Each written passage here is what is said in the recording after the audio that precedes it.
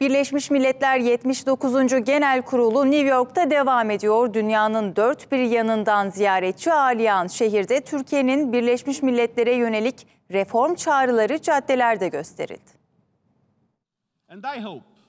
Birleşmiş Milletler 79. Genel Kurulu New York'ta toplandı. Genel kurul devam ederken Türkiye'nin Birleşmiş Milletler'e yönelik reform çağrıları da New York sokaklarında dolaştı. Cumhurbaşkanlığı İletişim Başkanlığı koordinasyonunda Türkiye'nin mesajlarının bulunduğu dijital ekranlı kamyonetler dünyanın dört bir yanından ziyaretçi ağırlayan şehrin en işlek sokaklarında dolaştırıldı.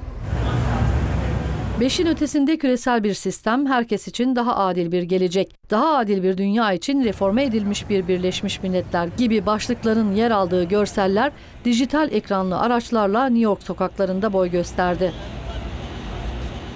Gün boyu şehrin en işlek cadde ve alanlarında gösterilen görseller New Yorklulardan yoğun ilgi gördü.